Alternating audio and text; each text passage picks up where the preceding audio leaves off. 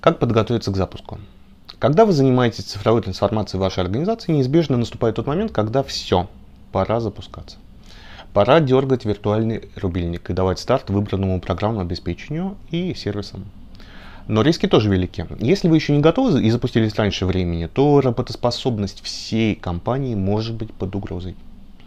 Как же убедиться, что запуск пройдет успешно? Есть несколько приемов, которые вам помогут.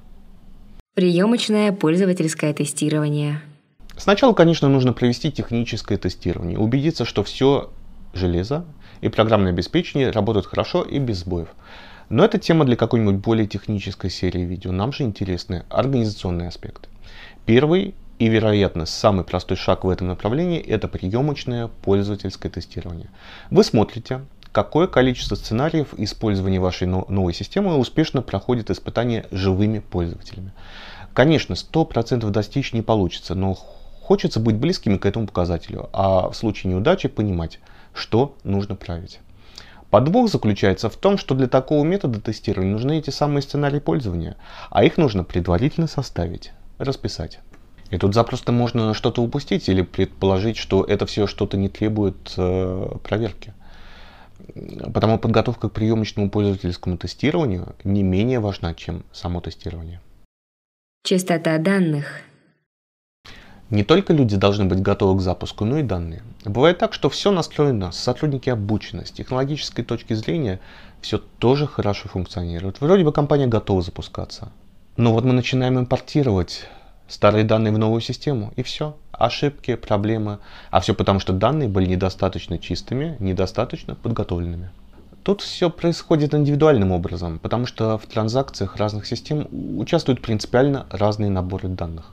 Лишь вы можете задать точные метрики и критерии частоты данных в вашей конкретной системе. Но всегда лучше проверить 90% данных на соответствие требованиям. И потом внести небольшие правки, чем проверить 10% данных и решить, что, наверное, и все оставшиеся тоже в порядке. Поверьте, они обычно не в порядке. И узнаете вы об этом в самый последний, самый неподходящий момент. Трассировка требований, она же прослеживаемость требований. Еще одна метрика, которую можно достаточно просто измерить. Предположительно, на ранних этапах проекта, возможно, даже на этапе выбора, когда вы только присматривались к некой технологии, у вас был набор бизнес-требований, которые в итоге цифровой трансформации должны быть выполнены либо учтены. Мы об этом говорили, повторяться не будем. А теперь вы смотрите, вы смотрите какой процент из них был выполнен.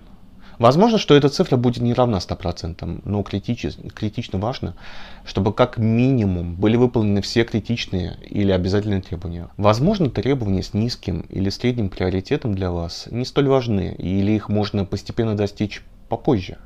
Тут все индивидуально. А вот основное ядро должно функционировать сразу и функционировать хорошо. Стресс-тесты. Как бы вы ни готовились, как бы вы все ни планировали, непредвиденные обстоятельства неизбежны. Необходимо понимать, насколько вы к ним готовы. Как вы отреагируете, если что-то пойдет не так? Например, допустим, во время запуска откажет система онлайн-платежей. У меня так было. Есть ли у вас альтернативный план, как проводить оплату? А если такой же альтернативный план с другими цифровыми системами, которые вы внедрили? Прикиньте, какой процент функций операции и технологий имеет запасные опции, которым вы можете откатиться при необходимости? Чем этот процент выше, тем проще идти на риски и переходить к запуску. Вы должны быть осведомлены о потенциальных рисках, которые могут быть при запуске. И более того, об этом должны быть осведомлены и другие участники, особенно лица, принимающие решения. Они должны понимать, каков ваш процент готовности, какие имеются риски, какие компромиссы, на которые необходимо пойти. Только после оценки этих показателей одобряется запуск системы. Это лишь часть возможных приемов и техник, которые могут быть предприняты перед запуском вашей цифровой версии. Но даже если вы выполните этот минимум, будет уже замечательно.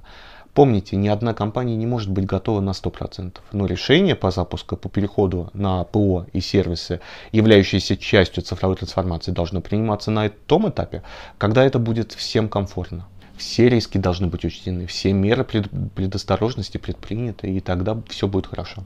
Но если проблемы возникнут, то вы на них оперативно отреагируете. Ну а если уровень рисков пока еще слишком высок, по крайней мере вы будете знать, куда двигаться, чтобы планомерно их снижать. Займитесь этим прямо сейчас, даже если запуск еще не близко. До новой встречи! Спасибо всем, благодаря кому возможны новые выпуски Совета недели.